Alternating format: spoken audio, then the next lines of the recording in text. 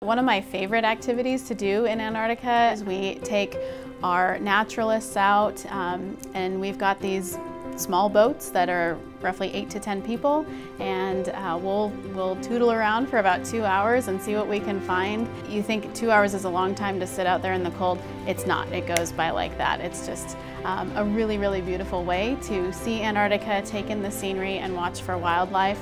Um, and we're often surprised by the things that we find. We come across whales um, and fur seals, leopard seals, all sorts of things. It's just a beautiful way to spend a couple of hours. I love watching any species penguin. They're just comical. You have these, these penguins are in such a rush to get somewhere, like they know exactly where they're going and then they'll stop and look around completely lost. Incredibly funny to watch.